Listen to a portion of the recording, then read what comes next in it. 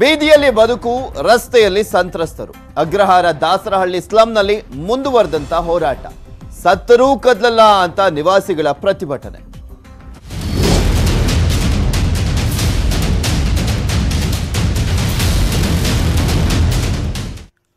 Agrahara ದಾಸರಹಳ್ಳಿಯಲ್ಲಿ slum ಸಂತ್ರಸ್ತರು ಅಳಲನ್ನ ತೋಡ್ಕೊಂಡಿದ್ದಾರೆ. ಮೂರನೇ ದಿನನೂ ಕೂಡ ಮುಂದುವರೆದಿದೆ ಸಂತ್ರಸ್ತರ ಹೋರಾಟ.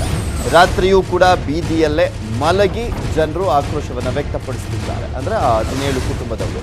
ಕಲ್ಯಾಣ ಮಂಟಪಕ್ಕೆ ಶಿಫ್ಟ್ ಆಗದೆ ಸಂತ್ರಸ್ತರು ಧರಣಿಯನ್ನು ಮುಂದುವರಿಸಿದ್ದಾರೆ. ಶಾಮಿಯಾನ ಟೆಂಟ್ ಅನ್ನ ಹಾಕಿಕೊಂಡು ಪ್ರತಿಭಟನೆ ಮಾಡ್ತಾ ಇರುವಂಥದ್ದು ಸತ್ತರು ಇಲ್ಲೇ ಇರ್ತೀವಿ, ಇದ್ರೂ ಕೂಡ ಇಲ್ಲೇ ಇರ್ತೀವಿ ಅಂತ ಧರಣಿಯನ್ನು ಮುಂದುವರಿಸಿದ್ದಾರೆ. ಸ್ಥಳಕ್ಕೆ ಕೌನ್ಸಿಲರ್ ಶಿಲ್ಪಾ, ಪತಿ ಶ್ರೀಧರ್ ಭೇಟಿಯನ್ನು ನೀಡಿದ್ದಾರೆ.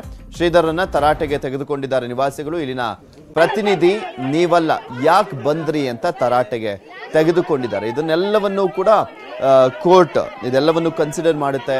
ಮಂಗಳವಾರ ಇಯರಿಂಗ್ ಇರುವಂಥದ್ದು ಯಾವ ರೀತಿಯಾದಂಥ ತೀರ್ಪು ಹೊರಬೀಳುತ್ತೆ ಕಾದ್ ನೋಡಬೇಕು.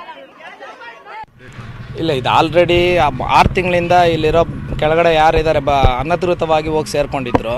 ಅವ್ರುಗಳಿಗೆ ಕನ್ವಿನ್ಸ್ ಮಾಡಿದ್ದೀವಿ ಆರು ತಿಂಗಳಿಂದ ನೋಟಿಸು ಕೊಟ್ಟಿದ್ದೀವಿ ಕರೆದಿದ್ದೀವಿ ಮಾತಾಡಿದ್ದೀವಿ ಸೋಮಣ್ಣ ಸಾಹೇಬ್ರು ಕರೆದಿ ಅವ್ರಿಗೆ ನಿಮಗೆ ಮನೆ ಮಾಡಿಕೊಡ್ತೀವಿ. ಈಗ ಆಲ್ರೆಡಿ ಆದೇಶ ಆಗಿರೋದ್ರಿಂದ ಇವತ್ತಿಂದ ಆಗಿಲ್ಲ, ಎರಡು ಸಾವಿರದ ಹದಿನಾಲ್ಕು, ಹದಿನೈದರಿಂದ ಸ್ಟಾರ್ಟ್ ಕಟ್ಟಕ್ಕೆ ಸ್ಟಾರ್ಟ್ ಮಾಡಿದಾಗಿಂದ ರೋಡಲ್ಲಿ ಇವರು ಹಂಗೆ ಇದ್ದಾರೆ ಇಲ್ಲಿರೋರಿಗೆ ಫಲಾನುಭವಿಗಳನ್ನ ಅವಾಗ ಯಾರ್ಯಾರು ಹೂವು ಮಾರೋರು, ಮತ್ತು ಮನೆ ಕೆಲಸಕ್ಕೆ ಹೋಗೋರು, ಯಾರು ನಿರ್ಗತಿಕರಿದ್ದಾರೋ ಅವ್ರನ್ನೇ ಮಾತ್ರನೇ ಆಯ್ಕೆ ಮಾಡಿರೋದು. ಇವಾಗ ಫಲಾನುಭವಿಗಳು ಯಾರು ಒಳಗಡೆ ಅನ್ನತ್ರೈಸಾಗಿ ಹೋಗಿ ಸೇರ್ಕೊಂಡಿದ್ದಾರೋ ಅವ್ರುಗಳು ಇವತ್ತವರೆಗೂ ಲೀಸ್ಟಲ್ಲಿಲ್ಲ ಅವ್ರದ್ದು ಅವರು ಹೊಸ್ದಾಗಿ ಬಂದು ಸೇರ್ಕೊಂಡಿರೋದು. ಕಮಲಾನಗರದಿಂದ, ಮತ್ತು ಸುಂಕದಕಟ್ಟೆಯಿಂದ ಮಾಗಡಿ ರೋಡಿಂದ.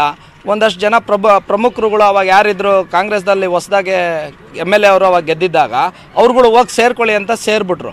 ಇವಾಗ ಮತ್ತಷ್ಟು ಸುದ್ದಿಯನ್ನು ನಿಮ್ಮ ಮುಂದೆ ಇಡ್ತಾ ಹೋಗ್ತೀನಿ. ಆದರೆ ಅದಕ್ಕೂ ಮುಂಚೆ ಒಂದು ಸ್ಮಾಲ್ ಬ್ರೇಕಿನ ಬ್ರೇಕ್ ಹೋಗ್ಲಿಕ್ಕೂ ಮುಂಚೆ ನಿಮ್ಮ ಗಮನಕ್ಕೆ ಪ್ರತಿಯೊಬ್ಬ ಭಾರತೀಯರಿಗೂ ಕೂಡ ಕೋವಿಡ್ ಲಸಿಕೆ ಪಡೆಯುವಂತ ಹಕ್ಕಿದೆ ಎಂಬ ಸಂಜೀವಿನಿ ಅಭಿಯಾನ. ಶುರುವಾಗಿದೆ. ಇದಕ್ಕೆ ನೆಟ್ವರ್ಕ್ ಏಟೀನ್ ಕೂಡ ಸಾಥ್ ಕೊಟ್ಟಿದೆ. ಈ ಸೋಂಕಿನ ವಿರುದ್ಧ ಎಲ್ಲರೂ ಹೋರಾಟ ಮಾಡಿದರೆ ಮಾತ್ರ ನಾವೆಲ್ಲ ಗೆಲ್ಲಬಹುದಾಗಿದೆ.